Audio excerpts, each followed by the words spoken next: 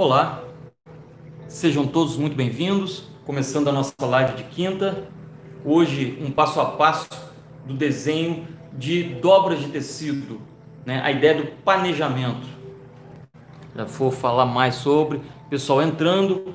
Quero pedir para quem for chegando, vai deixando seu like e quem ainda não é inscrito, inscreva-se no canal e não esqueça de acionar o sininho, que assim você vai receber as notificações quando sempre que eu postar algum conteúdo novo. Deixa eu ver aqui quem está chegando. Sejam todos muito bem-vindos.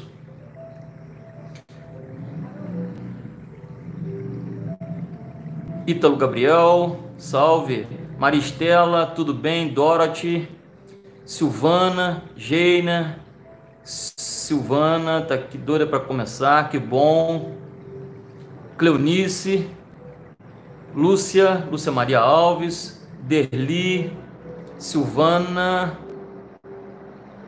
uh, Silvia, olá Silvinha, Ana Beatriz,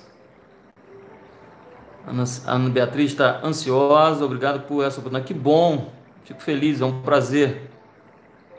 Uh,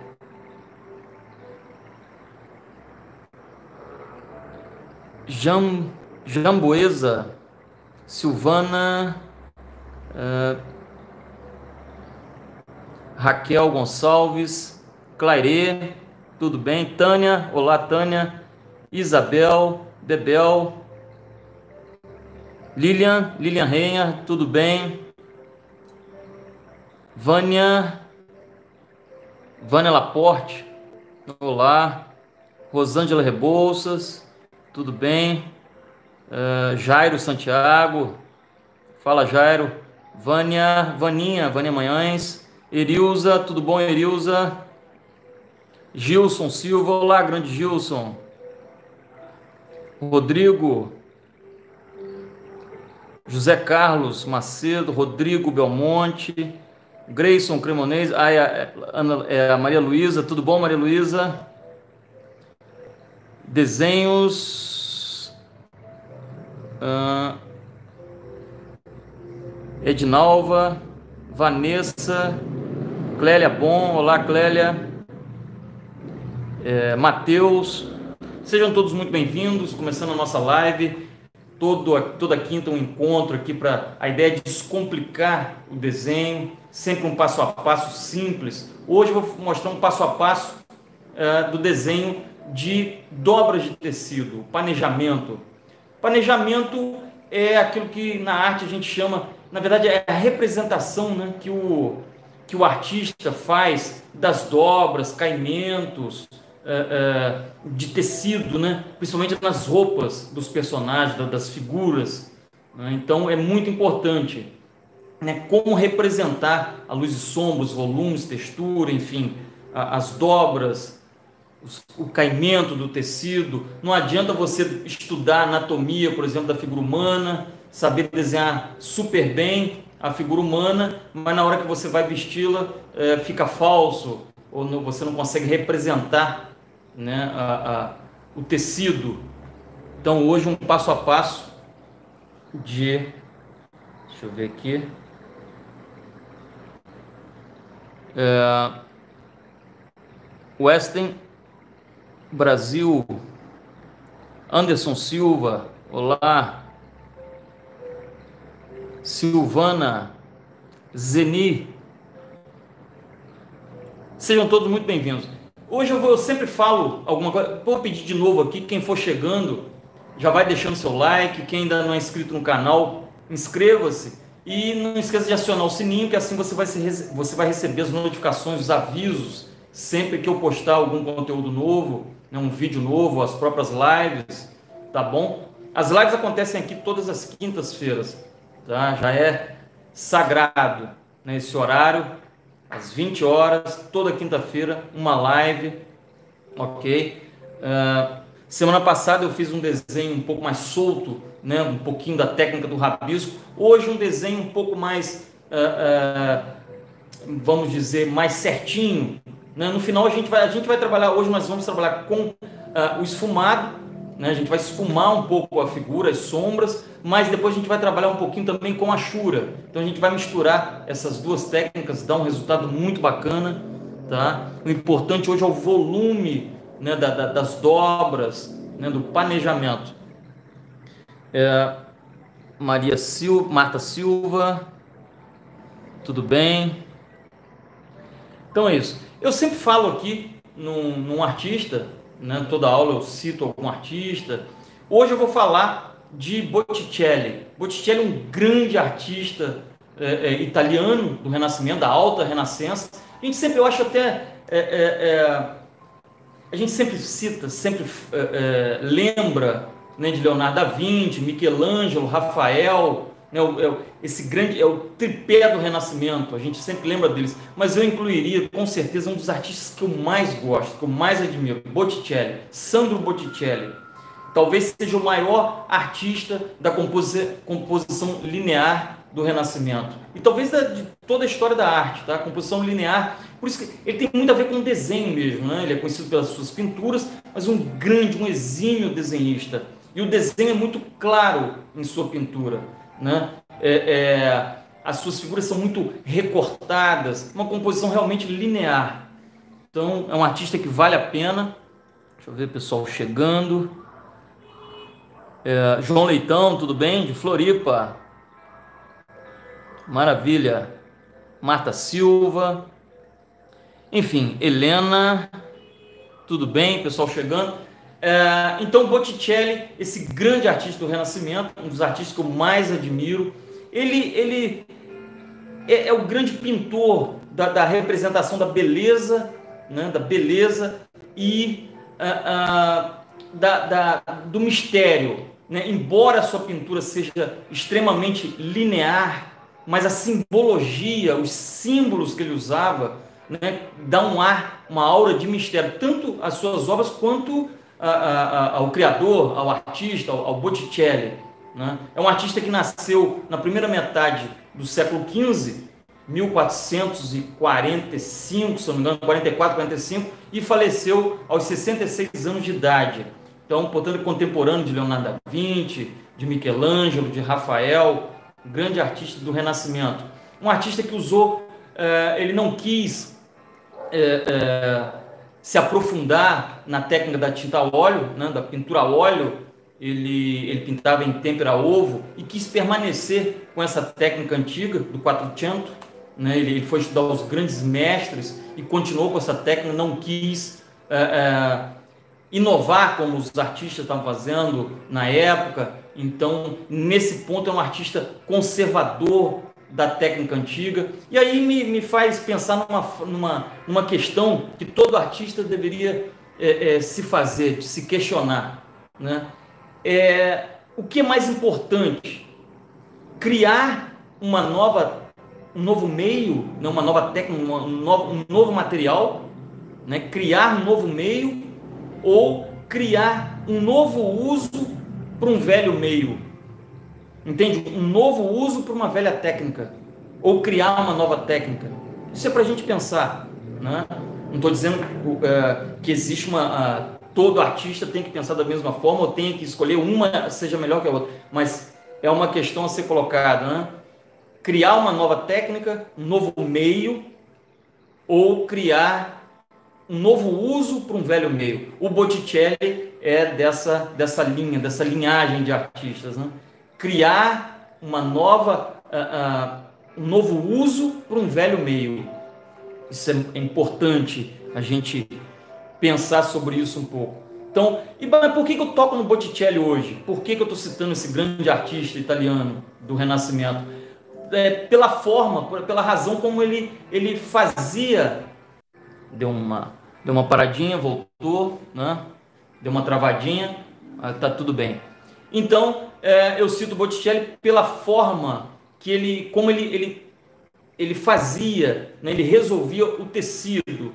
Né? Ele usava é, tanto a, a, a, sua, a sua capacidade de observação realmente do real, né? é, é a realidade com a idealização. Ele misturava essas duas coisas. Né? Ele idealizava o tecido, mas ele também observava do real. Ele misturava essas duas coisas. E é uma ótima forma de se trabalhar tecido, né? o planejamento, é, misturando essas duas coisas, a idealização com a realidade. Isso é muito.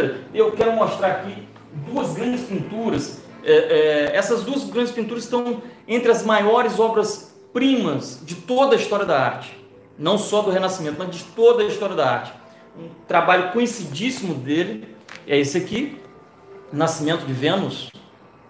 Esse trabalho é conhecidíssimo, né? Muitos de vocês podem não saber, não, né, não, não conhecer o artista, o autor, mas com certeza já viram essa imagem. Imagem famosíssima.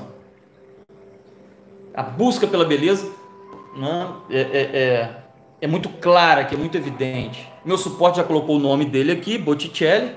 Quem quiser depois, eu acho importante pesquisar depois, se aprofundar um pouquinho na, no trabalho dele, procura no Google, tá? Vale a pena. Um artista importantíssimo. Então é Nascimento de Vênus e A Primavera. Também um outro trabalho belíssimo e muito conhecido de Botticelli. É um brilho né, na reprodução muito. Tem muito brilho atrapalha um pouco, mas o planejamento, a forma como ele trabalhava a, a, o tecido, né, o caimento dos tecidos, como ele fazia, é uma mistura de observação da realidade com a idealização. Né? Ele não se prendia, ele observava muito a realidade para fazer, mas não se prendia totalmente a ela. Ele idealizava conforme né, o seu gosto é muito bacana. Botticelli realmente um grande artista do Renascimento, Renascimento italiano. Vou mostrar também aqui um pouquinho, quer dizer, da realidade, realidade, enfim. Uh, isso aqui é uma escultura, né? Uma escultura, é, uma imagem barroca, barroca, em estilo barroco, né? É uma escultura que eu fiz há pouco tempo. É uma escultura toda em papel. Então, o planejamento que é esse caimento, as dobras, né? Uh, uh, o tecido no corpo, né? na figura humana, o caimento da, do tecido na figura humana, que, que, é o chamado planejamento na arte. Uh, essas dobras, essa luz e sombra, como criar, por exemplo, esse tipo de situação aqui, ó, ó para dar esse, aqui, esse volume, né? essa coisa arredondada, isso é que a gente vai ver hoje né? vai ver não em três dimensões, mas bidimensional. Né? Então, esse tipo de efeito, né? Por exemplo, aqui é azul, mas você tem as áreas de brilho, as áreas de luz, as áreas de sombra, como desses volumes, né? as, as partes mais profundas, né? mais escuras. Então, é isso que a gente vai ver hoje. Já vou passar aqui para quem for entrando, pedir de novo, já vai deixando seu like. E quem ainda não é inscrito, inscreva-se no canal, acione o sininho, que assim você vai receber as notificações de novos vídeos, de todo vídeo que eu postar, ou, ou das lives, enfim, ok? Deixa eu já direcionar para a prancheta.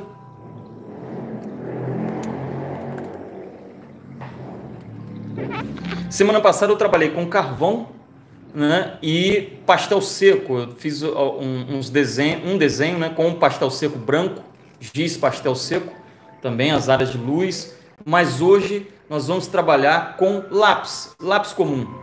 Tá? Então eu separei aqui, é, aqui um papel, papel canson. Tá? Vocês podem usar o papel que vocês quiserem. O importante é, é conhecer aqui a forma de, de fazer o volume no tecido, enfim. Papel branco, uh, lápis HB, lápis 6B, é, cotonete, que a gente vai fazer, vai esfumar. É sempre importante ter um pincel. Eu uso pincel leque, mas pode ser pincel, por exemplo, de maquiagem, sempre para tirar alguma rebarba da borracha, algum sujinho que cair, nunca soprar o desenho ou esfregar a mão. Isso está lá no meu e-book, os 14 passos para aprender a desenhar, e-book gratuito. Quem ainda não tem, é só depois solicitar lá na minha página do, do Facebook, entra lá, deixa um, um, uma solicitação inbox, tá? que o meu suporte envia para você. Tá? O e-book eu falo todos esses detalhes em relação à graduação dos lápis. Né? É, o, aqui, na verdade, eu, eu, peço aqui um HB, que é um lápis uh, mais duro, mas na verdade eu vou começar com 2B e não HB. Por quê? O 2B vai, não vai ficar tão clarinho e fica melhor na filmagem, fica melhor para vocês verem em casa. Então vou começar com 2B, mas vocês podem fazer com HB. HB é o lápis comum escolar, né? o lápis mais comum de achar, mais fácil de achar, é um lápis mais duro. E o lápis é o seguinte: quanto mais duro, mais claro é o resultado. A gente sempre começa com lápis mais duro, as linhas, né? a marcação das linhas principais com lápis mais duro, que é mais claro, e depois a gente vai escurecendo no caso, eu vou trabalhar com o 6B depois, mas a gente poderia ir até o 8B, né, nas áreas mais profundas do tecido, tá? Mas basicamente HB 6B. Cotonete para esfumar, uma borracha comum. Esse é o material que nós vamos usar, tá bom? É, eu vou pegar uma folha aqui primeiro, uma folha antes de começar com o, o canson. Eu vou usar uma folha comum aqui de papel sulfite. Aqui formato A4. Vamos lá. Primeiro, eu vou mostrar aqui por quê. É, vamos fazer, estruturar o desenho, vocês não precisam fazer agora. Eu vou só mostrar para vocês o que, que nós vamos traçar depois, já no passo a passo. Mas aqui, rapidamente, com lápis 2B, mas no caso poderia ser um HB, tá? Eu vou fazer o seguinte, eu vou fazer um, um pano, cara, não vou vestir uma figura, porque senão a gente teria que trabalhar aqui com anatomia e não é uh, o objetivo da live de hoje. Né? A aula de hoje é mostrar uh, o caimento do tecido, suas dobras, enfim, luz e sombra, né? claro escuro, os volumes. Uh, então eu vou fazer o seguinte, vamos fazer um tecido caindo, apoiado numa mesinha, alguma coisa assim. Então vou colocar aqui só para vocês entenderem. Vocês não precisam fazer agora. Isso aqui é só para mostrar o que que eu vou fazer, tá? O que que eu vou mostrar no passo a passo. Só um entendimento. É a criação, na verdade, da, da estrutura do tecido. O tecido vai estar apoiado em cima dessa, dessa basezinha. Eu botei uma certa perspectiva nela. Aí aqui eu faço uma, uma estrutura básica Tá? Isso é importante, a gente estruturar. É, aqui eu vou fazer ela quebrada, que é como se estivesse esbarrando no chão. Então eu vou fazer isso. Como criar aquelas dobras, né? Olha só que maneira simples. Não precisam acompanhar agora, é só observar por enquanto. Ó, vamos criando aqui ah, uma um volume.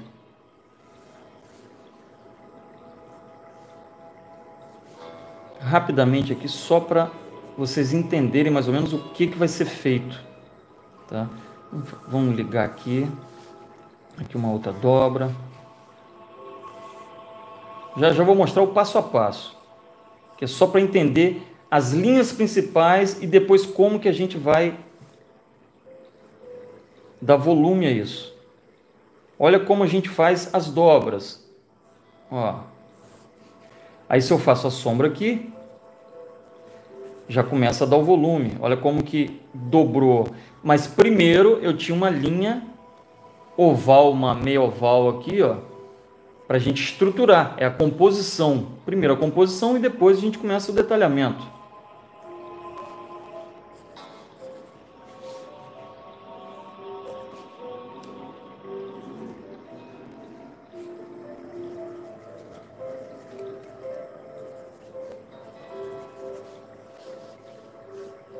E umas dobras mais suaves. Enfim, as dobras mais fortes vão ser essas aqui, né?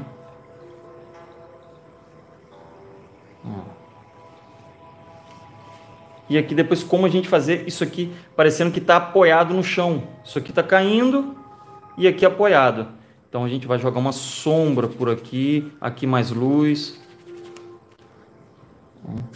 Deixa eu escurecer mais só para vocês terem ideia aí em casa. Já vou mostrar o passo a passo, aqui é só para o entendimento mesmo Eu estou criando aqui, mostrando o que que, como vai ser essa estrutura.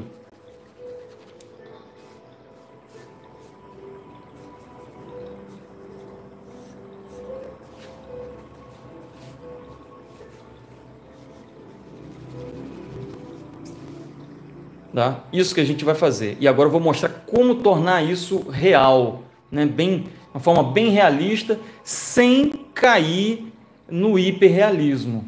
Tá? Porque aí o hiperrealismo tira, te poda, né? te, não deixa você se expressar, enfim. Não gosto, não recomendo o hiperrealismo, já existe a fotografia, então vou deixar do lado e agora sim a gente vai trabalhar de novo um passo a passo daquilo que eu fiz ali, daquela estrutura inicial. Ok? Vamos lá. Então a primeira coisa é criar essa linha aqui, aqui em cima, né, bem próximo. Deixa eu ver. Sem encostar lá no limite do papel, né, aqui assim, vamos criar uma horizontal, trocar o lápis, usar o lápis mais duro, não fica tão escuro. Então, uma, essa linha horizontal, só uma linha inicial, depois a gente vai fazendo os ajustes. Agora uma diagonal aqui, criar uma, uma certa perspectiva. Aqui bem levinho, porque as dobras do tecido vão cobrir essa linha. É como se estivesse apoiada né, em alguma coisa aqui numa, numa mesinha ou alguma coisa assim.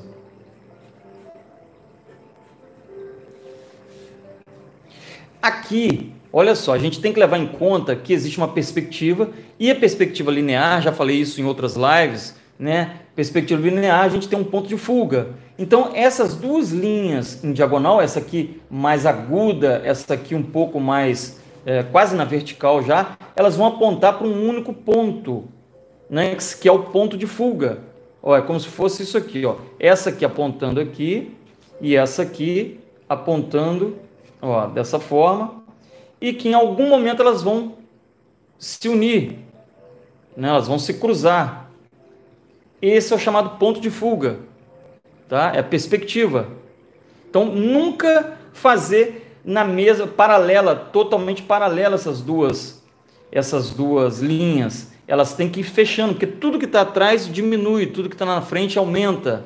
Então, se esse lado está na frente, esse lado, né, essa parte que tem que ser maior do que essa. Essa parte tem que fechar. Então, se vai fechando, em algum momento elas vão se unir nesse ponto, chamado ponto de fuga. Ok? Então é isso. Isso aí é o conceito básico da perspectiva linear. Então vamos lá. Uh, Vamos fazer aquela oval aqui, ó.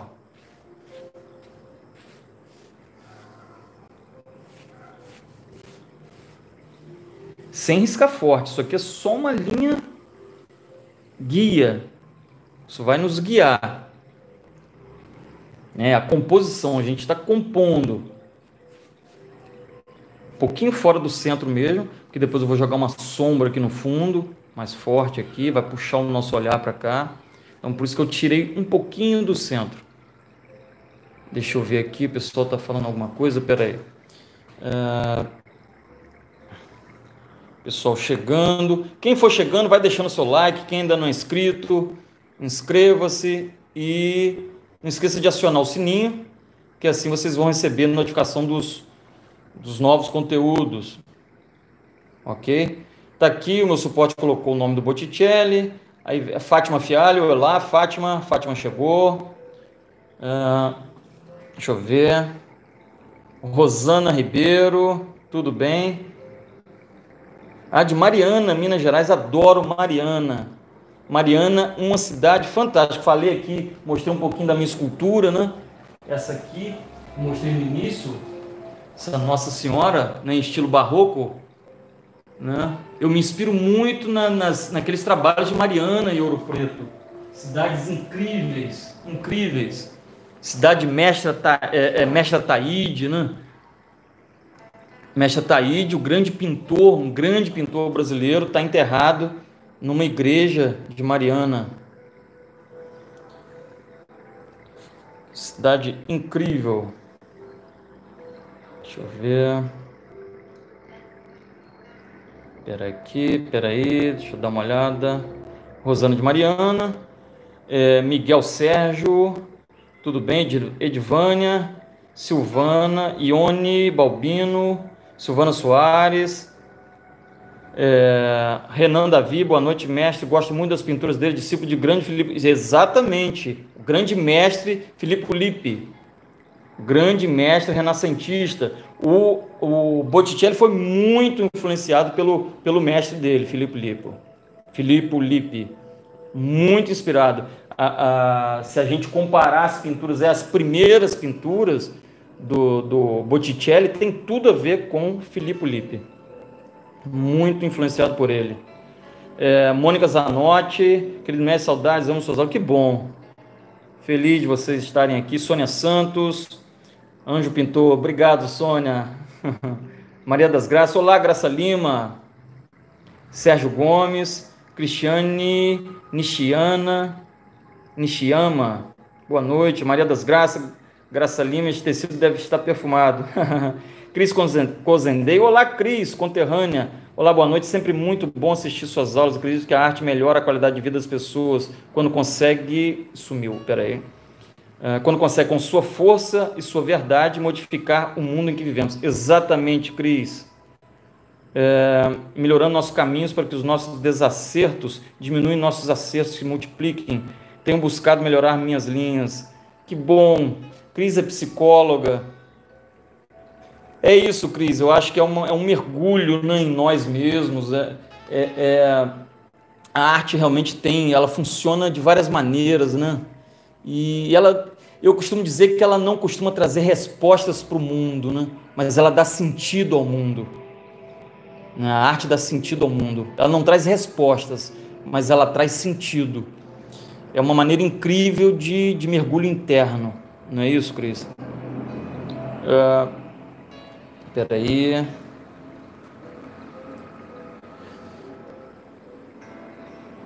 Sol Sames, olá. Agnaldo Moreira, Sol Sames, Patagônia. Olha só, de, da Patagônia, que bacana. Bom, se aqui tá frio aí, hein? aí é gelo mesmo. Bacana. Cristiane Nishiyama. Tomei vergonha na cara e vou acompanhar a live tentando fazer junto. Isso! Rosana Ribeiro, verdade, temos muitas é, escrituras lindas aqui.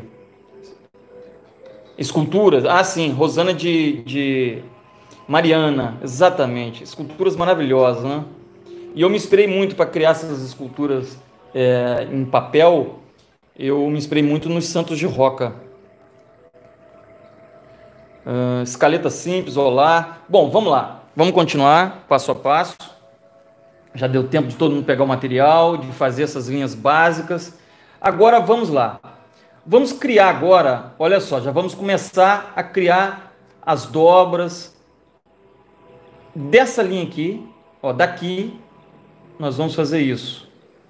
Não se preocupe com essa linha aqui, essa linha é só uma linha é, é guia, né? É, depois ela vai ser apagada. Por isso que a gente começa sempre com lápis mais claro. Vamos lá.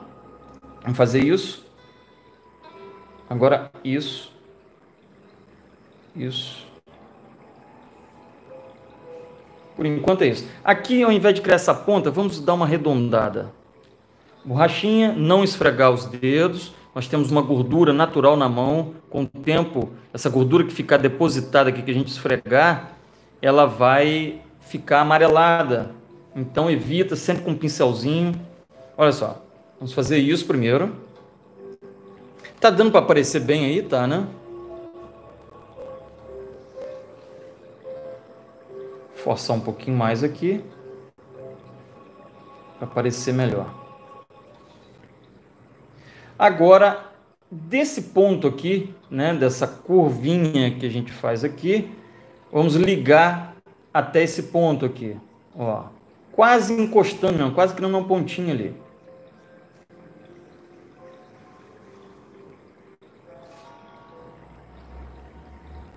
Ligar aqui. Agora, desse ponto aqui, né, dessa curvinha aqui, dessa quina, nós vamos fazer isso. Veja que está por dentro aqui, ó, quase que dividindo essa forma aqui ao meio. Já podemos, para não confundir, já podemos apagar essa linhazinha daqui.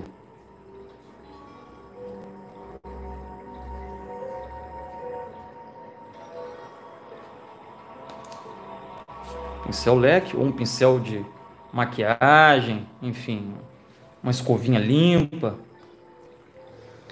Agora vamos partir para o outro lado aqui. Né? Vamos contornar primeiro para depois vir separando as dobras do centro do tecido. Dessa quina aqui, um pouquinho mais para cá, nós vamos cair, ó. A gente faz isso, saindo um pouquinho aqui, ó, em diagonal. Faz isso, ó. Agora vamos fazer isso.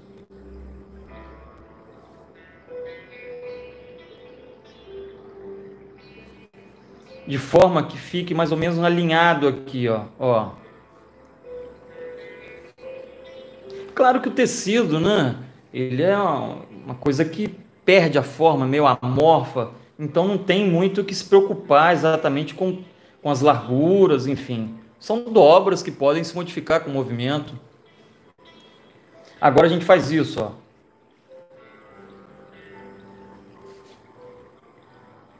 E agora desse ponto aqui, a gente sobe, fechando, sem encostar aqui.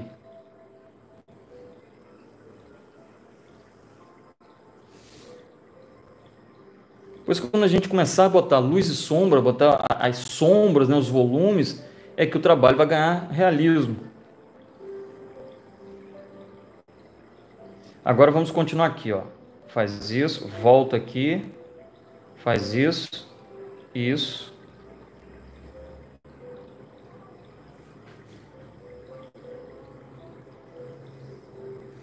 Esperar um tempinho para vocês acompanharem. Voltando a dizer que eu tirei um pouco do centro, quebrei um pouquinho a simetria, mas depois eu vou compensar isso com uma sombra aqui no fundo, para o tecido realmente valorizar no sentido do, do volume. Vamos lá. Agora aqui a gente fecha aqui também, ó. E aqui também, ó. Virou aqui, fecha aqui. Passando por baixo. Agora aqui tá por cima. Vem. Ó. Gente, sempre segurar também o lápis mais atrás. Nunca segurar aqui muito na frente, tá? Isso trava o nosso desenho, trava o traço. Então sempre dá, dá para ter mais espontaneidade, segura mais atrás. Isso também eu falo lá no e-book, tá? E-book, para quem não sabe, é o, os 14 passos para aprender a desenhar. Quem ainda não tem, um e-book gratuito. Só deixar um comentário é, inbox lá na minha página, solicitando, página do Facebook, solicitando o e-book que meu suporte envia para você. Vamos lá. É, vamos continuar aqui, ó. Vou trazer essa linha mais para cima. Vamos encostar aqui. Essa linha aqui, nós vamos encostá-la aqui. Agora aqui que a gente vai dar uma outra, fazer uma outra dobra. Encosta aqui, nessa de fora. E agora faz isso.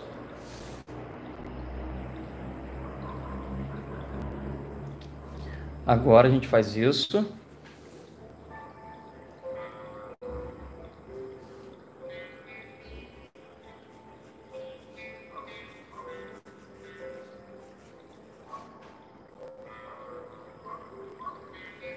Bom, vamos continuar aqui. Aqui nós vamos fazer isso. Vamos fazer, é, é, vamos imaginar que aqui é o chão já, tá? Ó, nesse limite aqui é o piso. Então a gente vai dar uma, uma, trabalhar de forma como se isso aqui tivesse apoiado, tivesse virado, né? Tá caindo assim e aqui tá fazendo isso. Então vamos fazer assim, ó.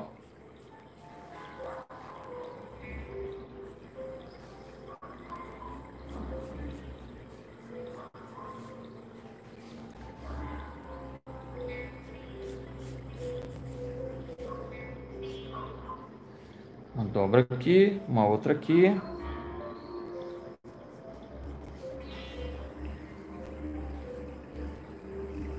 Depois, quando colocar luz e sombra, isso vai dar esse volume, essa sensação de que realmente está fazendo isso. Está virado aqui. Agora aqui a gente faz isso.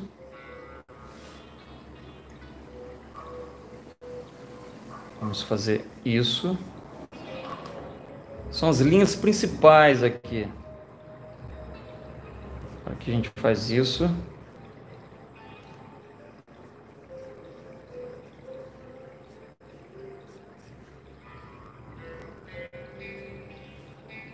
pegando por baixo disso daqui, vamos fazer isso.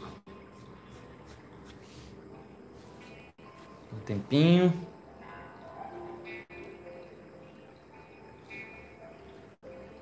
Que vocês possam seguir passo a passo.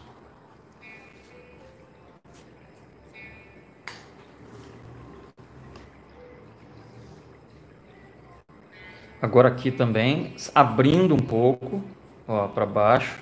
Começa aqui mais próximo e aqui abre um pouco. Notem que a gente não está medindo nada, né? Tudo no olhômetro é para desenvolver realmente essa percepção do olhar.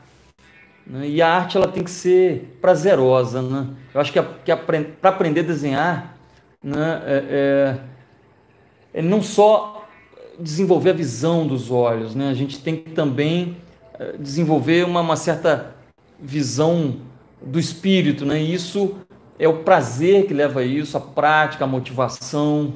Então são precisos três coisas para o desenvolvimento do desenho: motivação, prática e prazer. São fundamentais.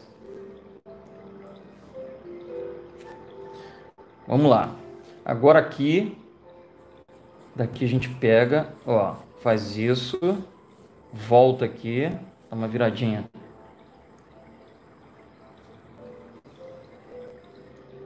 Agora aqui. A mágica vai acontecer já já, né? Quando começarmos a, a fazer as sombras e esfumar, aí sim. Agora aqui, também uma virada aqui.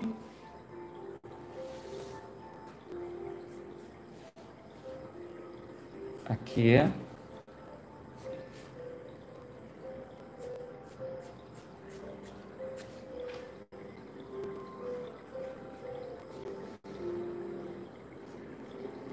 Treinar isso, praticar um pouco esses, esses tecidos, esses caimentos meio aleatórios, praticar isso é fundamental para depois fazer o planejamento bacana na, nas figuras, né? fazer o caimento, as dobras do tecido das roupas, das figuras. É fundamental treinar isso. Até para entender né, como é que funcionam essas dobras, né, a representação dessas dobras.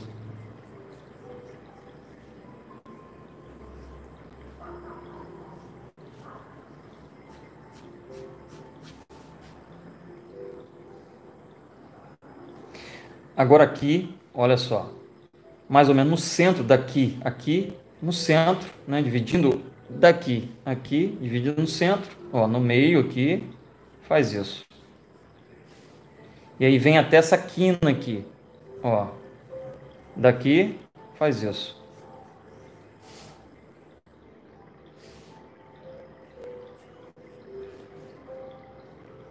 Agora vamos começar a jogar, dobrar isso aqui, como se tivesse apoiado né, nesse, nessa superfície de cima aqui.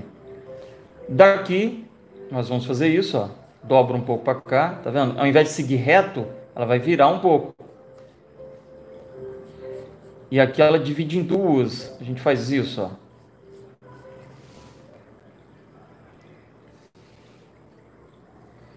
Uma outra linha aqui, uma outra aqui, já enfatizando essa entrada, né? Essa perspectiva.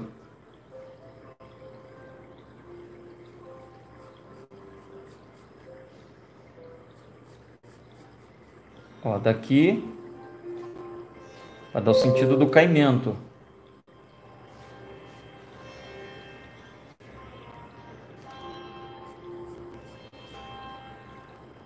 Agora aqui, ao invés de a gente continuar essa linha para cá, nós vamos fazer isso. Vamos voltar aqui, ó. Isso aqui vai ser preenchido depois com sombra.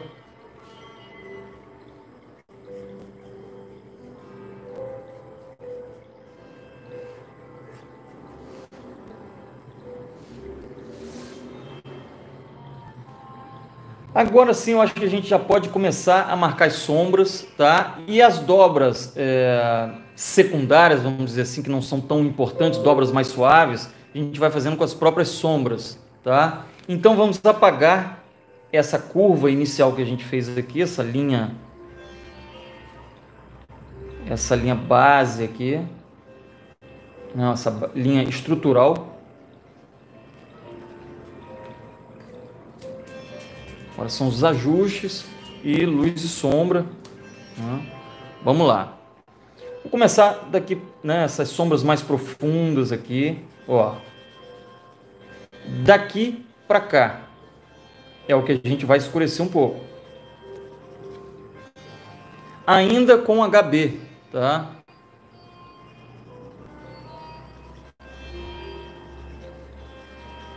Eu, na verdade, estou usando o 2B, mas vocês podem usar o HB. Eu estou usando 2B para ficar um pouco mais visível para você, não ficar tão clarinho. São umas, umas sombras de, de Primeiro, uma marcação das sombras, né? como se fosse um mapeamento. Ou blocagem, chamado blocagem. Tanto na, no desenho, na pintura, na escultura, a gente pode chamar essa etapa de blocagem. Aqui também, eu sempre por baixo.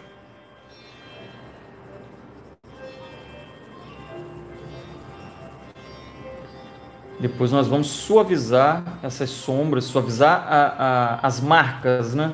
A marca do lápis, suavizar com uh, cotonete. Não vamos usar esfuminho hoje, nem papel higiênico e nem pincel. Nós vamos usar cotonete. São as quatro formas básicas de, de esfumar um desenho, né? Papel higiênico, cotonete, esfuminho e pincel. No caso hoje aqui, esse tipo de desenho funciona bem com cotonete.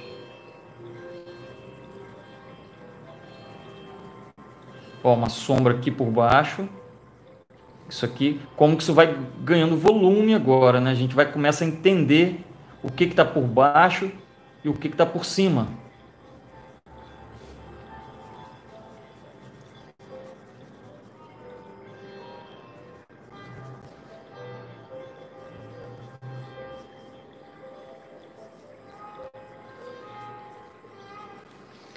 Apagar um pouquinho aqui, esse biquinho aqui, deixar com mais luz.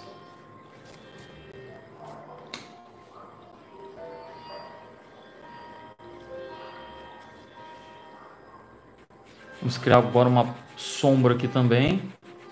Não tão forte quanto essa. Eu vou mapear esse pedaço e já vou pegar o 6B para vocês verem o resultado o resultado de uma área pequena aqui. Então vamos fazer aqui também, ó, um pouco mais forte aqui, não tão forte quanto essa. Ó, aqui, até chegar nesse nessa curvinha aqui.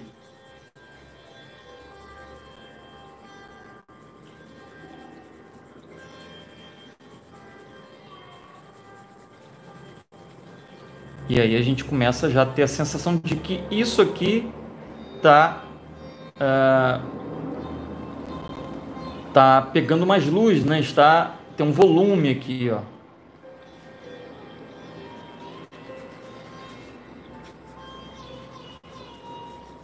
Geralmente tudo que está mais na sombra, mais escuro, é que está mais profundo. O que está mais claro é o que está mais uh, proeminente, vamos dizer assim, está mais solto mais próximo é o que pega luz. Isso é o que vai dando volume. Aqui a gente escurece também um pouquinho.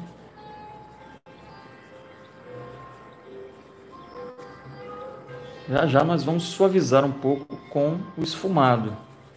Nós vamos dar uma esfumada. O que a gente está fazendo aqui é um sombreamento, né? Um mapeamento, né? A blocagem com sombreamento, que é diferente do, do esfumado. Sombrear é uma coisa, esfumar é outra.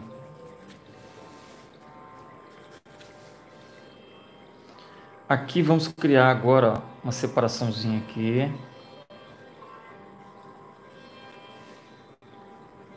Deixa eu ver o comentário, alguém escreveu alguma coisa, deixa eu ver. Quem tiver dúvidas, só deixar o comentário aqui, que já já eu vou ler tudo e vou tirar as dúvidas, tá?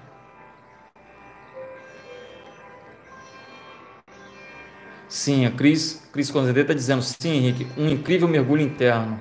Exatamente. Silvana, deixa eu ver. Que tecido lindo, que escultura. Hum. Valmir Lobo, boa noite, Henrique. Que. Que prancheta você usa ou recomenda? Pois a minha, a minha postura às vezes atrapalha um pouco no rendimento dos meus desenhos. Dor nas costas. Bom, a prancheta tem que ter uma angulação. Ela não pode ser. Eu não uso mesa, né? Ela tem uma angulação. Aqui ela está jogada para frente, tá? É a minha, a minha prancheta tem uma regulagem embaixo e eu posso regular essa, essa, né, esse ângulo aqui, regular esse ângulo. Isso é importante. É, é fundamental. Até porque quanto maior o desenho, tá, mais ângulo você vai ter que dar né, mais inclinação você vai ter que dar ao tampão da prancheta. Né? Quanto maior o desenho. Desenhos menores você pode aproximar mais. Né? Agora, quando o desenho é maior, senão até deforma também a visão, a perspectiva deforma a imagem na, na, na nossa percepção. Né? Então, por isso, essa angulação. Uh, eu uso aqui um banco, um banquinho, eu não estou usando. É, é, uma cadeira de encosto, mas eu fico com a coluna bem reta nesse banco, tá? Na minha prancheta aqui tem um apoiador para perna, que ela é uma prancheta alta, o banco também é bem alto, e eu apoio os pés, né, numa numa estrutura que tem embaixo aqui da prancheta. É importante realmente para a coluna, né? Para não afetar a coluna. A gente passa muito tempo desenhando, Bom, vamos lá. Aqui também, escurecer.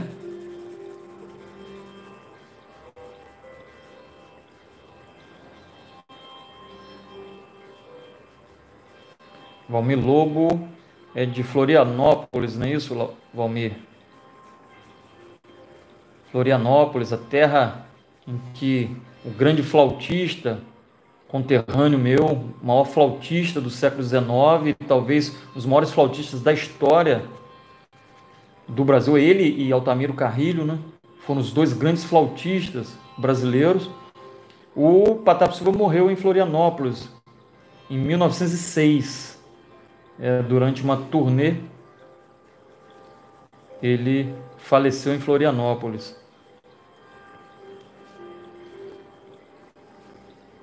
um grande flautista. Uma das músicas mais conhecidas é Primeiro Amor. Primeiro Amor de Patápio Silva, música belíssima. Foi o primeiro instrumentista solo a gravar disco no Brasil. Vocês verem a importância desse cara. Na época, um instrumentista gravar sozinho, sem ele não estava acompanhando um cantor, entendeu? Ele é solo, flautista solo gravou disco, vê a importância desse artista. Morreu antes de completar 27 anos. Um verdadeiro gênio, né? Onde ele teria chegado se ele não tivesse morrido tão cedo? Ele adoeceu aí e morreu. Bom, vamos lá. Eu tive o prazer e a honra de fazer a escultura que o homenageia em praça pública, uma escultura em bronze, um busto, Patap Silva. E embaixo da escultura, na, na, na, na base, É, existe uma placa em bronze também, um, uma frase de Érico Veríssimo falando sobre o Patapo Silva.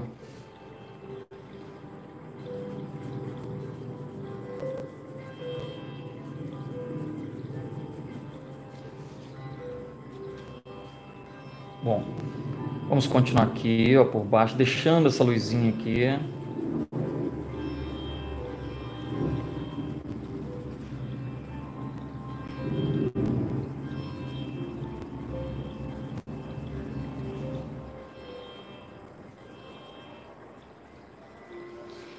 Vou deixar um pouco o lápis é, 2B e vou usar, passar para o 6B vou dar uma escurecida e depois vou dar uma esfumada numa parte aqui para vocês verem já como o desenho ganha, como vai se transformando.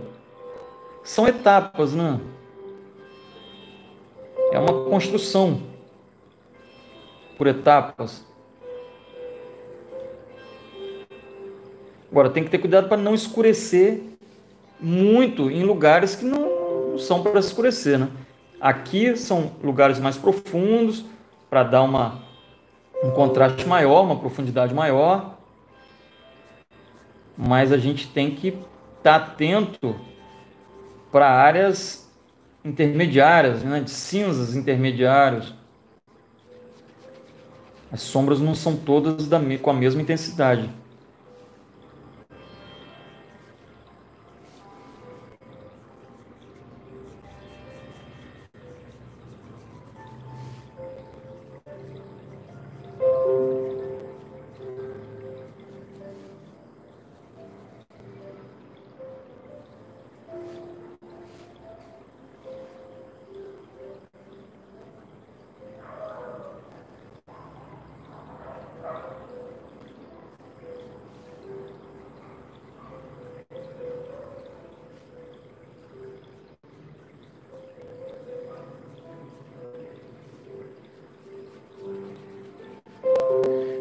Falando do Botticelli né, no início, esse grande pintor do Renascimento italiano, um dos maiores artistas da história da arte. Uh, ele nasceu em Florença e morreu em Florença, um artista florentino. Florença, uma das cidades mais lindas do mundo. Né?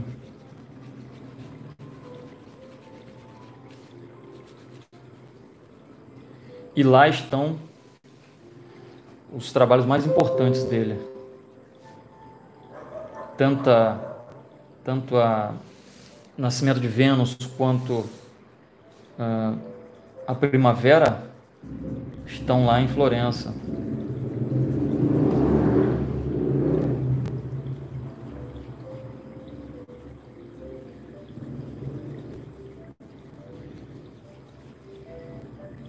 Florença conserva arquitetura basicamente a cidade é de arquitetura é, renascentista. Conserva a arquitetura daquela, daquela época. E claro, coisas anteriores também. A Ponte Vecchio, que é incrível, né? Casas em cima da ponte. A ponte mais antiga do mundo está lá em Florença.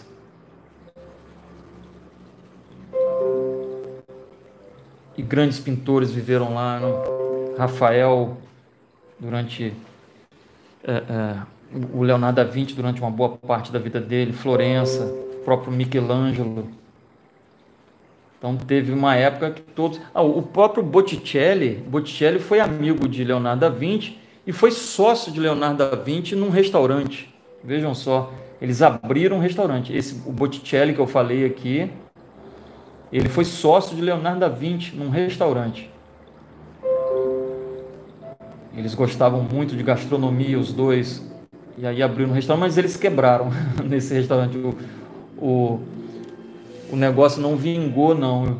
Eles eram muito para frente demais. Assim, Leonardo da Vinci com, escrevia segundo segundo relatos, assim, documentos que Leonardo da Vinci, o, o, o cardápio era escrito de trás para frente, então você tinha que ter um espelho para você conseguir ler. E aí, mas o, o, problema maior foi é, o Leonardo da Vinci gostava de enfeitar muito a pintura, a, a, a, os pratos, né? E aí ele ele colocava uma, umas ervas, né, umas plantinhas, umas coisas, enfeitava o prato, né, a comida e, e é, descobriram que ele usava para colar, né, para colar esses detalhes no prato, ele usava saliva de boi.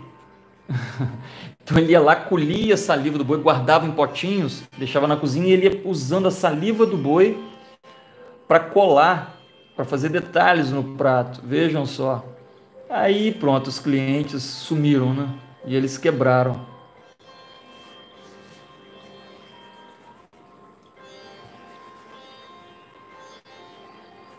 Leonardo da Vinci é o inventor, por exemplo, do guardanapo também. Né? Não existia guardanapo. Leonardo da Vinci foi quem, quem inventou. Então, muitas coisas bacanas dessa época né, que eu falei do, do Botticelli o Renascimento realmente uma era, uma época incrível, né? de pessoas incríveis, de invenções fantásticas. Bom, antes de fazer aqui, eu vou já dar uma esfumada para a gente ver o que acontece aqui. Agora, não, para esfumar, não adianta pegar e ir esfregando em tudo, aleatoriamente. Tá? Tem que ter cuidado. Começa uh, uh, né, seguindo o desenho realmente, devagarinho, não esfrega muito, principalmente nessas áreas mais escuras, é um pouquinho. Aí você vem suavizando, bem, bem de levinho, virando, se tiver muito sujo, o cotonete você vira. Ó, e aí quando chegar na parte branca, praticamente você não aperta, você deixa bem fraquinho e morrendo parando.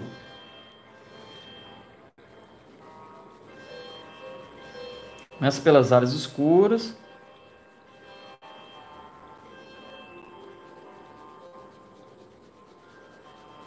Forma bem suave, vai dando uma esfumada. Quando você esfuma, ele escurece um pouco. Com o esfuminho, então, escurece mais ainda.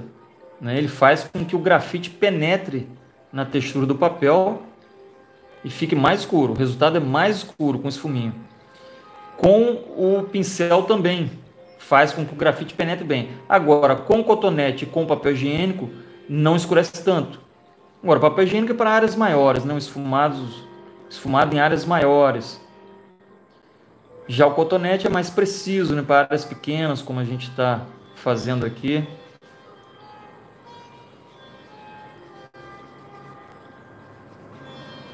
Outra coisa, muito cuidado para não ficar esfregando a mão aqui e borrando o desenho. Eu não vou usar aqui, mas poderia usar um, um eu não vou colocar porque senão vai acabar tapando né, o desenho, atrapalha vocês a, ver, mas podem fazer isso, ó. bota um papel e vai trabalhando aqui, né, puxando papel, ó. tá? Gente, quero pedir vocês, quem ainda não me, não me segue no Instagram, vou mostrar para vocês aqui, o meu Instagram, é o arte. Arte, o T é mudo, né? Arte underline Henrique underline Rezende. Lá vocês podem conhecer mais os trabalhos, tem sempre dicas rápidas de desenho também, fotos de trabalhos, e, enfim, outros tipos de conteúdo que não esses aqui do, do YouTube. Minha página também no Facebook, Henrique Rezende, Rezende com S. E é um prazer, quem quiser o, o meu e-book, os 14 passos para aprender a desenhar, é só ir lá na minha página do Facebook, deixar um comentário em box. Não solicita por aqui não, que aqui é mais complicado de enviar, então deixa por lá, tá? No Facebook. E aí a gente envia. E quem estiver fazendo esse desenho, que estiver acompanhando e quiser que eu dê uma olhada depois no desenho, é só posta, postar no, no Instagram e me marcar, tá? Me marca, arte underline Henrique underline Resende, que eu vou lá e interajo, tá bom? Semana passada tiveram várias pessoas que fizeram isso, acompanharam a live aqui e depois postaram no Instagram. Ou quem não estiver desenhando, mas eu, eu preferi é, colocar algum, alguma frase que eu falei aqui que vocês acharam interessante, ou um insight que vocês tiveram durante a, durante a live, coloca a frase, printa em algum momento aqui a live, printa a imagem aqui e posta no story, lá no Instagram, ou enfim, posta e me marca. Que aí eu vou lá interagir.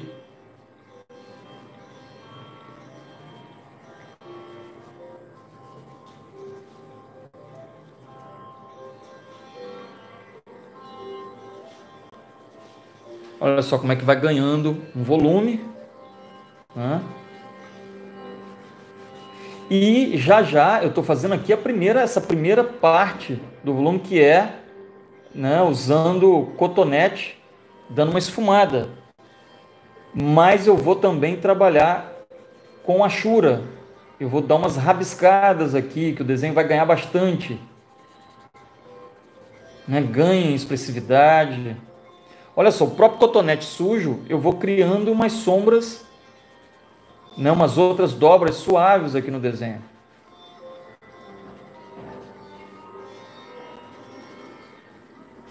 Aqui é mais forte.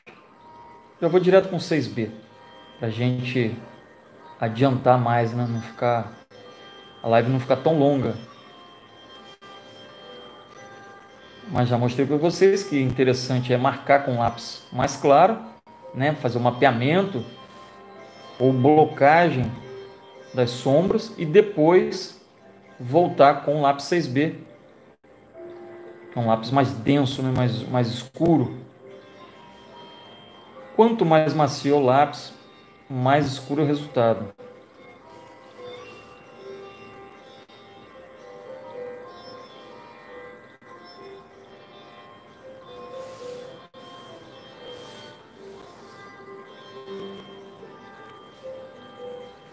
Aqui também por baixo, olha, sempre ter essa ideia do que está por cima o que está por baixo. Né? As coisas que estão por baixo ou mais profundas, mais escuras. Então aqui existe uma sombra. E aí a gente vai dando volume à figura. Ó, aqui está por baixo.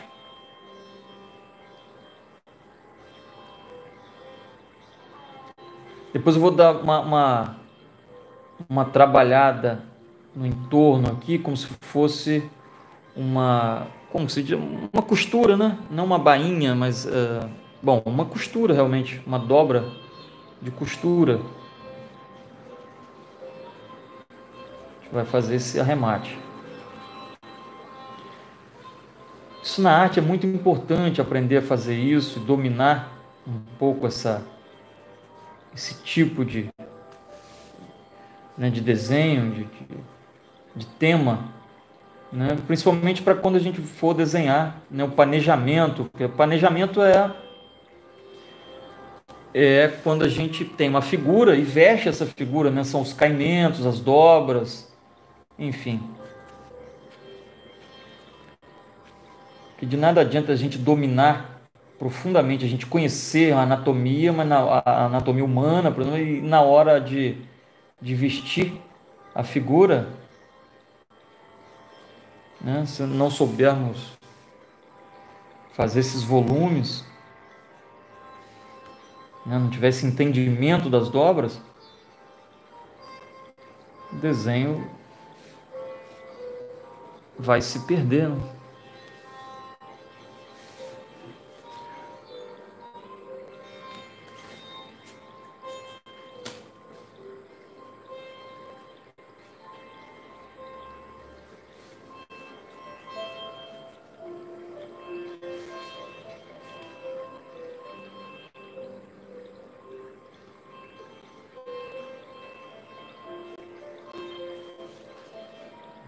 Viradinha aqui.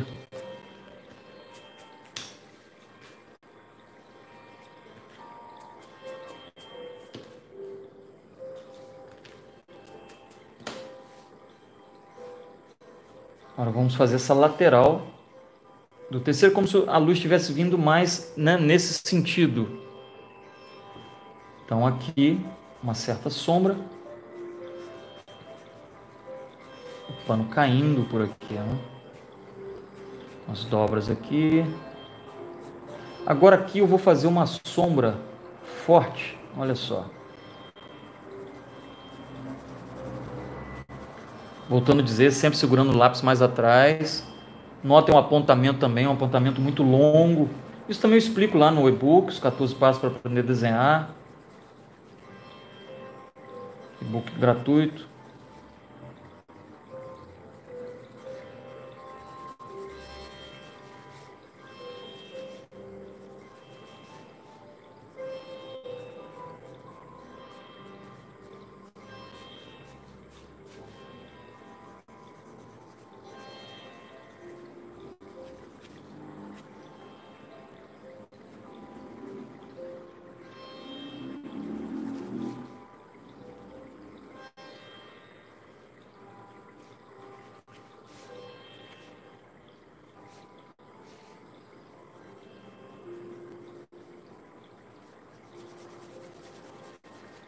Olha como é que o desenho fica legal, espontâneo, né? meio, meio esboçado, né?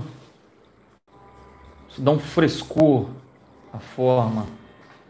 E aí a gente vem trazendo. Antes de trazer a chura para dentro, vamos terminar de esfumar com cotonete. Aqui vou dar uma trabalhadinha também que eu ainda não trabalhei, né? A sombra. Vou dar uma escurecidinha geral aqui, ó, só para criar uma ilusão de que isso aqui está num plano e aqui está fazendo isso, né? Faz isso e aqui isso, né? Essa dobra aqui, ó, como se estivesse apoiada no chão, no piso.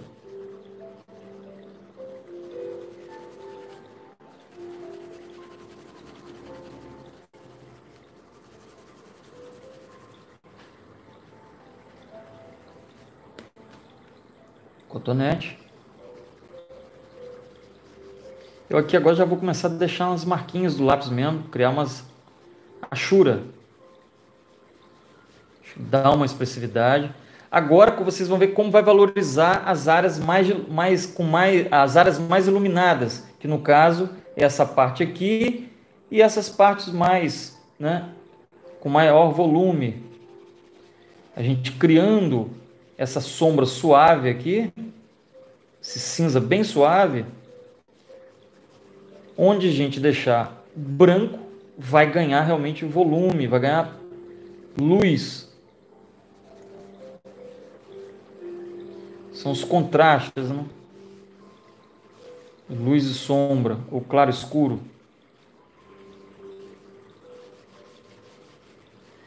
E eu costumo dizer, o desenhista não pode ter medo do escuro.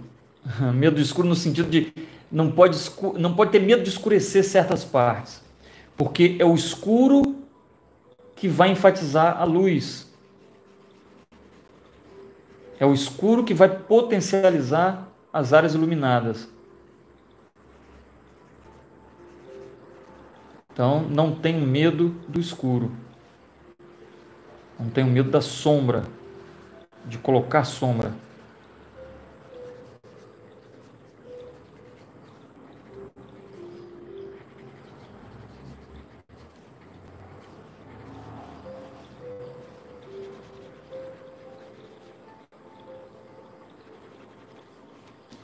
Aqui também uma sombra forte aqui, ó.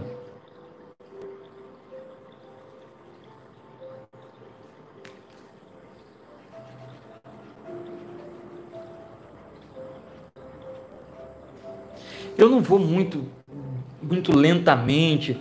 Acho que a gente tem que acelerar um pouco, uh, né, forçar um pouco, uh, uh, ainda mais uma, numa, numa figura, né? Que te dá essa liberdade, o tecido, não? te dá essa liberdade de trabalhar, de modificar um pouco, não tem que ficar totalmente preso ao meu desenho.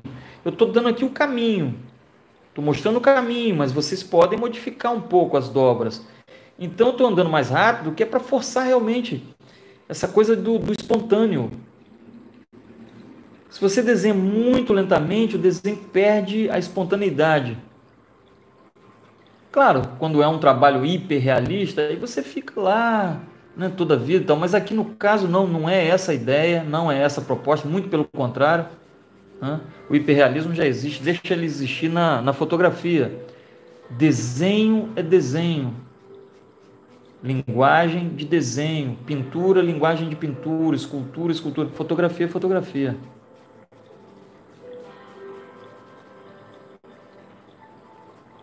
Então, maior liberdade para desenhar. Não estou dizendo de deformar a imagem. Né? Alguns artistas gostam de deformar, outros não. Mas uh, eu digo na linguagem, né? a linguagem do traço.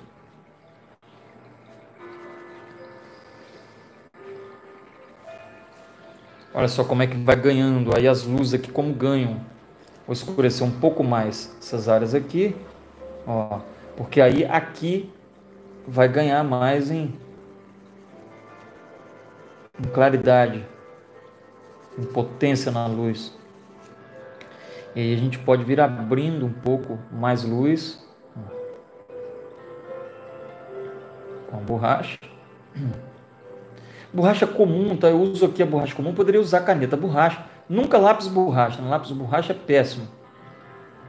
Mas caneta borracha, limpa-tipos. Mas no caso aqui hoje, eu peguei o básico, com básico, né? um lápis HB, um lápis 6B, uma borracha e um cotonete. Dá para fazer coisas absurdas, vamos dizer assim. Dá para fazer mágica.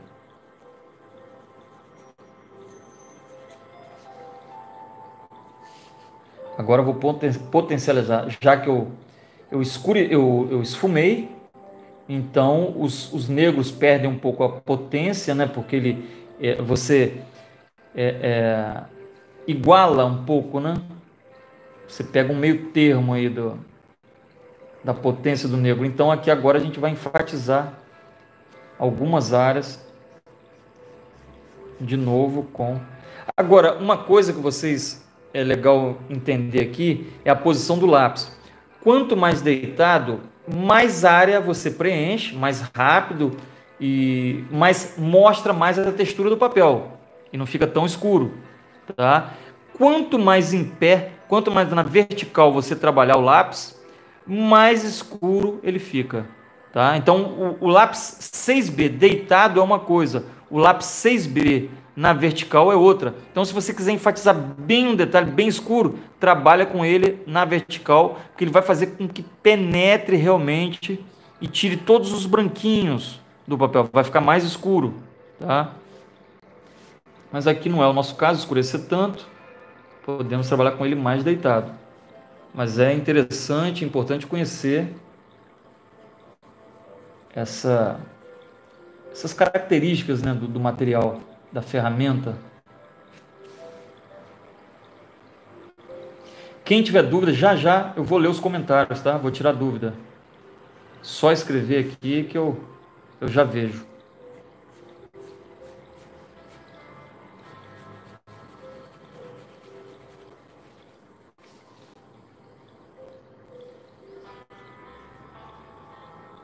Vamos escurecer um pouquinho aqui, criar uma dobra mais forte.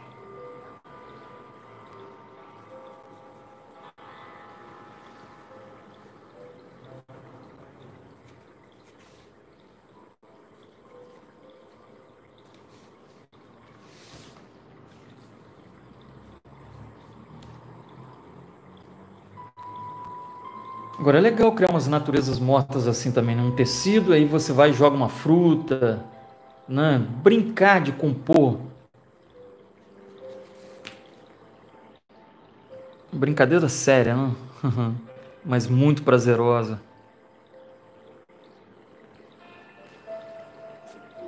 Extremamente prazeroso. E é o tipo de desenho que você não precisa ficar medindo, tirando risco, de forma nenhuma, quadriculando, nada disso.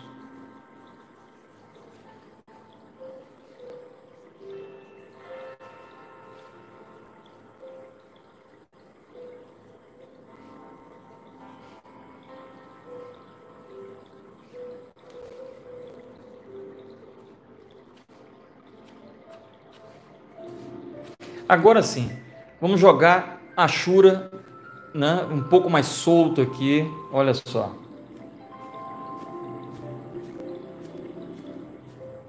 Temos várias formas de fazer a Shura, mas vamos usar uma posição só. Quem trabalha com a mão direita, nessa posição. Quem é canhoto, o traço já é o contrário. O traço é daqui para cá. Né? Fica mais espontâneo.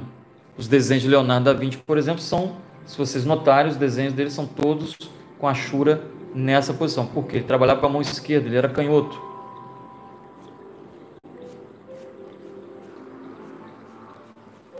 São os traços que ficam, né, são mais.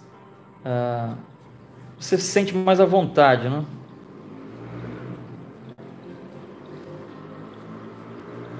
E aí sai mais espontâneo.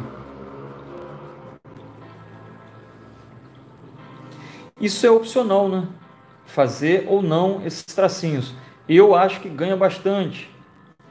Ainda mais esse tipo de figura, né? Eu acho que dá um, um ar assim meio de esboço, de um desenho despojado.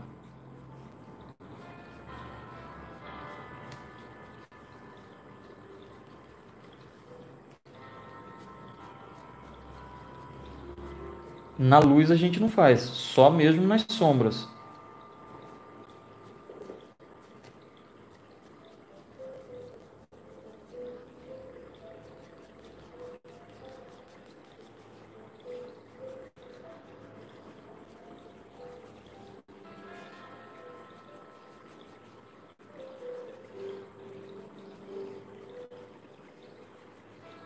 Agora, é bacana treinar também, depois vocês pegarem, por exemplo, é, um tecido aí na casa de vocês, coloca em cima da mesa, faz uma, uma armação, amassa ele aleatoriamente, né, ou, né, faz umas dobras, e aí vai olhando e desenhando. É um tipo de desenho extremamente prazeroso e belo. Né, fica bonito.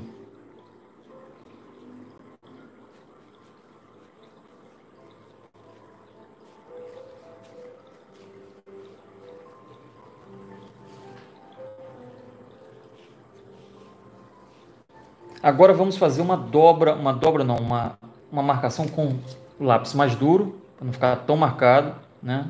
No caso aqui é um 2B, vocês podem fazer com HB, como se fosse uma costura. Então a gente faz isso.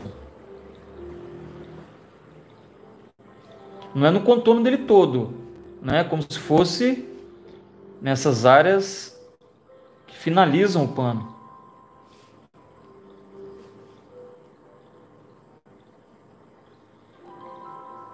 De forma suave, né? não pode ser muito marcado.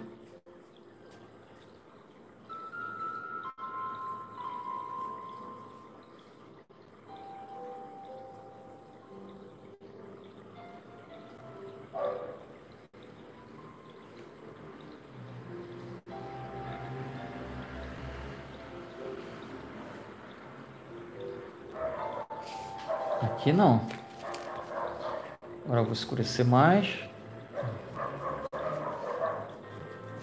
E a gente vai finalizando.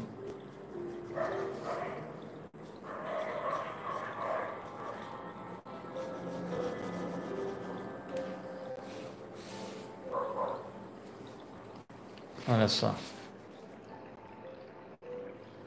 Dá um resultado bem legal.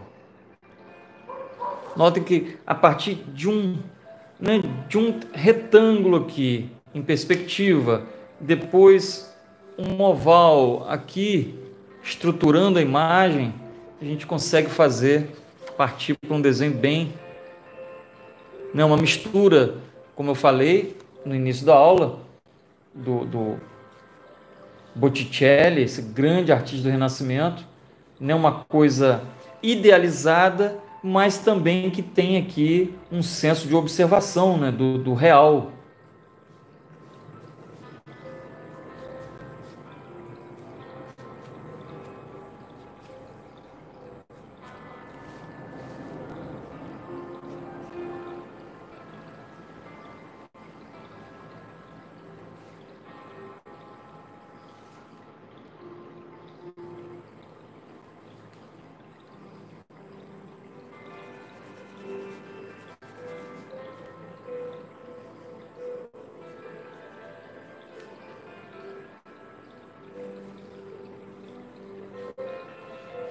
Jogar uma luzinha aqui.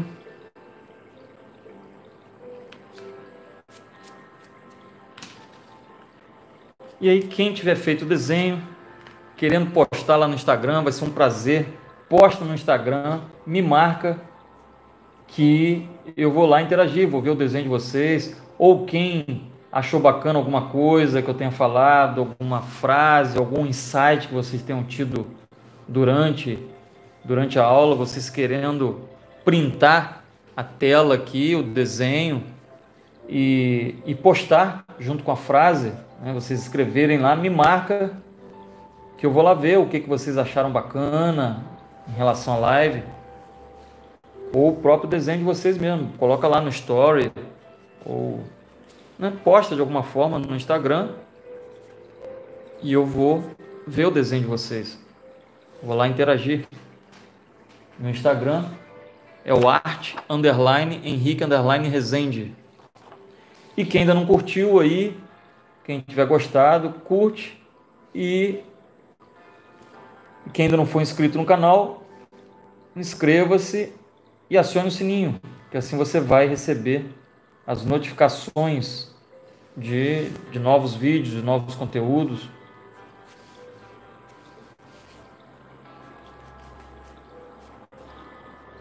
É isso. Hoje um desenho é, em relação às duas últimas lives, mais, vamos dizer, mais comportado, né? Um desenho quase acadêmico, mas também sem perder essa espontaneidade do traço, do risco. Né? É um ótimo exercício, um desenho prazeroso e é o início realmente para o entendimento da, do planejamento, da criação do planejamento, que é aquilo que chamamos na arte do, da, da representação das dobras, do caimento, né, das roupas dos personagens, da, das figuras, enfim. Super importante. Deixa eu dar uma olhada aqui na nos comentários. Já vou arrematar. Peraí, deixa eu só ver se tem alguma dúvida. Vou começar de, de baixo para cima, porque eu não sei onde eu parei. Vou subindo aqui. Boa noite a todos. Aliás, sou de Sorocaba e assisto todas. Peraí, todas as aulas, sempre aprendo algo novo. Que bom. Renato Valentim. Valeu, Renato. Elisa Bastos, gostei, desenho prazeroso. Elisa, saudade, Elisa. Lilian Reinhard, muito importante esse estudo de planejamento. Gratidão. Nada, Lilian, é um prazer, tá bom? É um prazer dividir isso com vocês. Lilian Reina, sempre participando também, bacana. É, Silvana Soares, o lápis que está usando é lápis 2B, gente. Sim, esse aqui é o 2B e esse aqui é o 6B, tá? Eu usei o 2B no início, depois o 6B para finalizar. Então eu usei 2B e 6B, mas vocês podem usar o HB. Deixa eu ver, Carla Tamácia. Muito lindo desenho, gostaria de, de ter essa noção de luz e sombra. É fundamental, né? luz e sombra é que dá volume, volume ao desenho, né?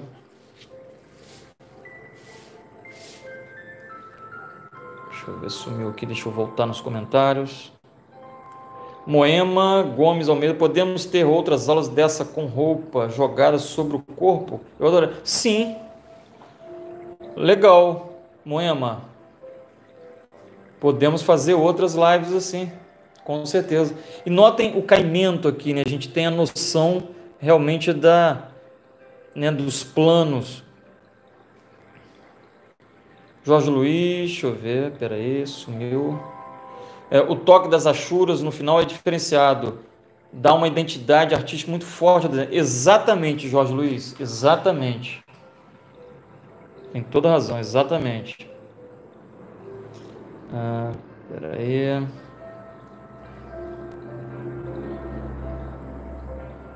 Deixa eu voltar aqui, deixa eu ir voltando. É, Cristiane Nishiyama, Nish, Cristiane Nishiyama. É, eu também pensei nisso, professor. Pega um pano, não com muitas dobras, e joga uma luz bem forte para realçar bem as formas e ver se fica mais fácil a execução. Exato. Né? Treinar isso, né? praticar com um pano real, um tecido, vocês irem fazendo do real aí. Renato Valentim Mazon, boa noite, professor. Gosto muito das suas aulas. Parabéns por esse dom. Ensina essa arte de uma maneira simples. Uh, sumiu, peraí de uma maneira simples, descomplicada e lúdica. Parece que o tecido vai cair na mesa, da mesa. Valeu, Renato. Valeu. Renato Valentim Mazon. Silvano Soares, só um pouco, uh, só um pouco não sei porque começou com linha mais clara, porque não deu para ver. Pois é, é, eu não sei como foi a filmagem, não sei se a luz está muito forte aqui, ou se você tem que diminuir um pouco a luz do seu celular. Porque geralmente a gente tem que começar o desenho, né, são etapas. Se você começa muito forte, depois você não consegue apagar. Se você errar, vai ficar marcado. Tá? Você tem que começar, são etapas. Começa com um lápis mais fraco, né? E depois você vai intensificando. Entendeu, Silvano? Você tem que começar sempre com um lápis mais claro, portanto mais duro. Lápis mais duro, depois lápis mais macio. Tobias, olá Tobias, Tobias Ramos, boa noite. Grande Tobias, sempre desenhando também, me marcando, aí eu vejo os desenhos. Cristiane Nishiyama, Elza, Elisa Bastos, eu também parei antes da metade, parece que síntoma exige muito domínio da técnicas. Assiste de novo e vai, né, é, é, é, de forma mais lenta, vai terminando o desenho. Vita Domitiano, Amigo, boa noite, é incrível a habilidade que você, pera isso, meu, a habilidade que você faz esse trabalho, dá vontade de estar aí perto de você e a sensação maravilhosa, ah, parabéns, amigo. Valeu, Vi, é, Vita Domitiano, Derli Rezende, valeu. Elisa Baixo, estou achando muito difícil. Não é nada, Elisa, é fácil. César Souza, Raine Neto, o oh, Rainer, gostei da aula, que bom, Rainer. Grande Rainer. É, Fátima Fialho, esse seu jeito especial de ensinar, esse seu passo a passo é o que mais impressiona nos cativa. Sensacional. Que bom, Fátima. Obrigado, obrigado pelo carinho. Cristiane Nishiyama, Nishiyama, preciso confessar que hoje foi difícil. Virou uma, uma massa disforme. É, é praticar. Mas é um desenho rápido, não, um desenho fácil, porque se a dobra sair um pouquinho, né? É, é observação. Depois que você entende, tem um entendimento, a coisa funciona. Maria Estela Moraes, Garcia, que perfeição, valeu. Jorge Luiz, a sensação de volume e tridimensionalidade é incrível. É isso, Jorge. É uma mágica, né? A coisa vai acontecendo. É, Jorge Luiz, que pena, chega muito atrasado, que pena. É, Sol Samis, sem medo de dar as técnicas, assim vai o artista para que possamos contemplar tua rica arte. Valeu. É um prazer falar sobre arte, ensinar, né? É um prazer. Claro que existem aprofundamentos. Isso aqui é uma live, né? É uma coisa rápida, uma aula. Claro que existem muito mais coisas. Você vai se aprofundando, né? É, existem aprofundamentos. É, Elisa Baixo, saudade, também, Elisa. Lúcia Maria Alves Costa. Deixa eu ver, sumiu.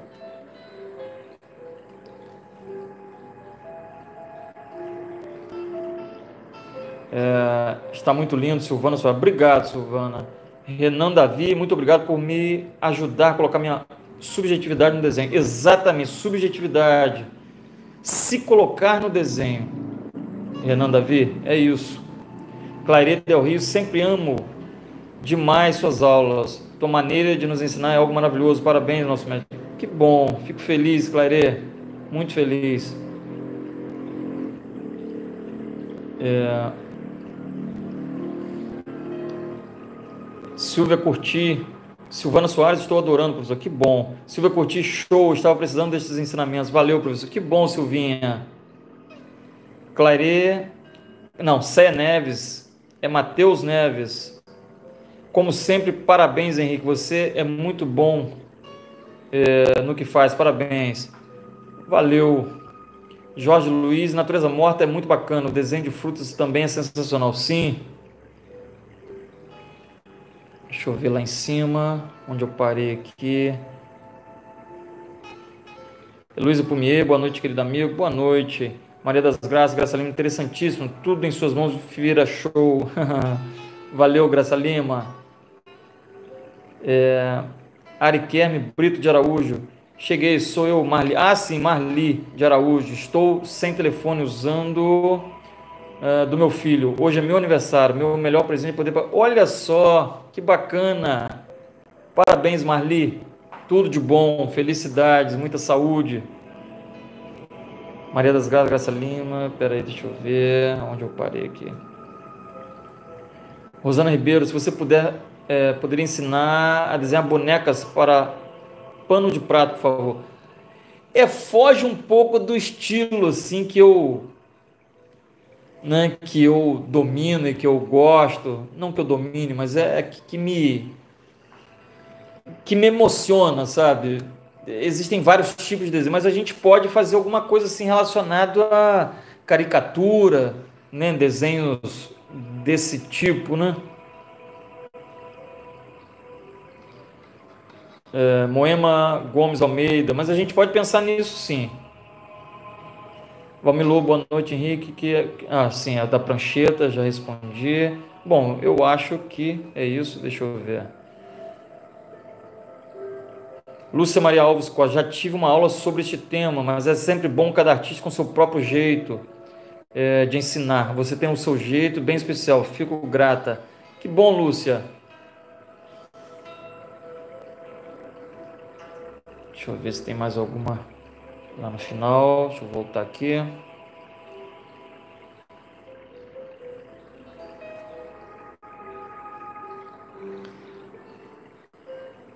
Cristiane Nishiwama, não há dificuldade em execução que tire o prazer de receber seus ensinamentos, professor. Só temos que agradecer a oportunidade.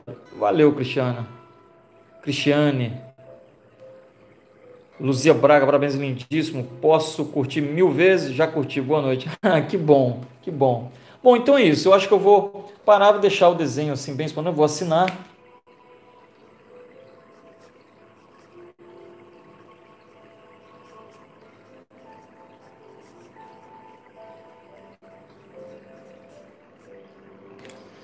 É isso. Deixa eu ver. Cleia Câmara, como sempre, seu desenho ficou maravilhoso. Obrigado, gente. Então, até a próxima quinta. Se Deus quiser. Abração. Obrigado a todos aí pelo, pelo carinho. Tchau, tchau. Peraí, tem, tem mais comentário aqui. Peraí. Maria Madalena Souza, incrível como evoluímos em cada live. Olha só que bom, que bom. Fico muito feliz. É um prazer para mim falar de arte. Eu acho que não seria tão realizado se eu só ficasse é, produzindo a minha obra, mas se eu não ensinasse, se eu não, não falasse sobre o trabalho, se eu não mostrasse, eu não, não seria realizado como, como eu me sinto ao ensinar.